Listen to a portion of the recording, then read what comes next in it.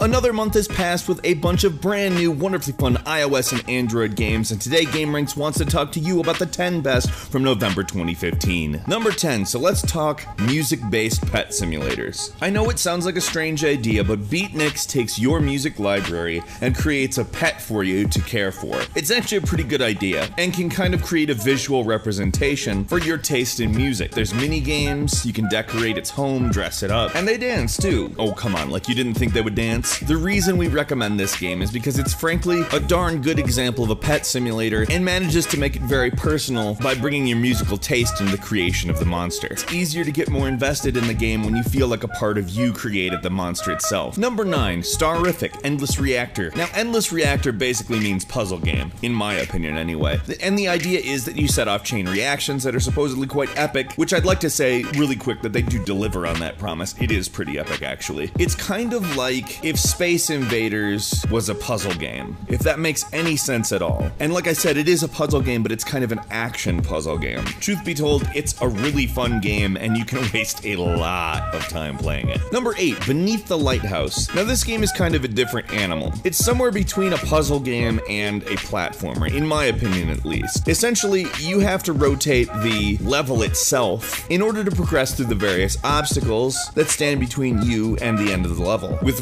really gorgeous graphics and incredibly engaging, unique gameplay. Trust me when I say this is a game that is not only worth your time, but you're going to get sucked into. Number 7, Warhammer 40,000 Freeblade. So the game is basically tap to destroy everything, which I have to say is something that I like. Essentially, if you've played a free-to-play social RPG, you kind of get the experience that you're going to go through. Except for with Warblade and selecting an action, you're tapping and watching everything explode. And this, my friends, is how to do it. This game game is massively fun and will absolutely engage you for a long time. Really, how can you argue with a futuristic mech game that's super simple to play, but extremely fun and rewarding to continue to play? Number 6, Super Dangerous Dungeons. Alright, so here's something that you're going to have to hear right off, and this is going to sound like a negative, but it's not a negative. This game does not really bring anything new to the platforming genre at all. What it does do is give you a platformer that isn't just competent, it knocks the damn thing out of the park. The graphics are fun and retro in the best way. It kind of reminds me of an NES game with a little bit more color. It brings you a challenge that doesn't frustrate you and make you feel angry, but doesn't let you off easy either. It's really just a massively well balanced, incredibly fun platforming game. Number 5, if you're a fan of MOBA games and you need a mobile miniature fix to be playing these things on the go, it's hard for me to say that there's something better for you than Call of Champions. Matches last 5 minutes, and well, is a little bit simplified compared to something like Dota 2, it will scratch that itch. It's got great graphics and a lot of depth, especially for a mobile version of something that you would expect people to say can't be done on mobile. It can,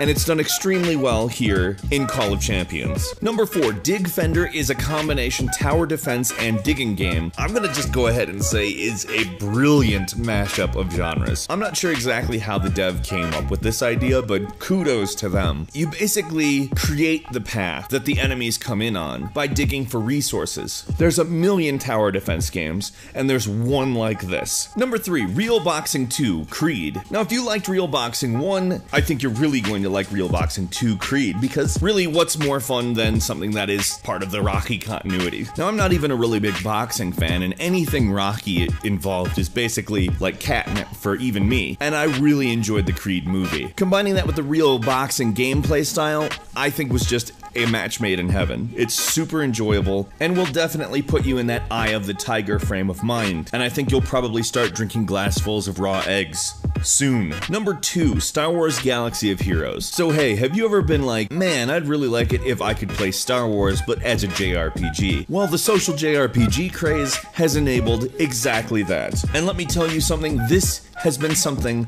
I have been waiting for for a long time. Star Wars is possibly one of my favorite things out there, and JRPGs are another one of my favorite things out there. Just to be able to have that turn based style, really fun combat that I love as a Star Wars game, please, I don't even have to tell you. This is what I want in the world. And finally, number one is Blendoku 2. I think from the footage we're playing, it's completely obvious what Blendoku is. You have a game board and you have to figure out how to blend between all of the colors that are being shown with the pieces that you're given in the order that you can. Now that sounds remarkably simple, and sometimes it feels remarkably simple, but it's not. It actually tests your color competence in a way that I don't think I've really had tested in a game. This is a really fun puzzle game. As soon as you play it, you're gonna be hooked. Like I said, the simple gameplay is deceptive and draws you in as this game becomes ever more challenging and involving. Have you played any of these games? Why not leave a comment and let the other people watching know what you've enjoyed about playing them? Maybe you have other recommendations you'd like to give us as well. In any case, please do so in the comments. Also, please don't forget to click the like button. It helps us more than you can probably imagine. If you're not subscribed, now is a great time to do so. We upload brand new videos every single day of the week, and the best way to see them first is a subscription. As always, thank you very much for watching this video, and we will see you next time here on Game Ranks.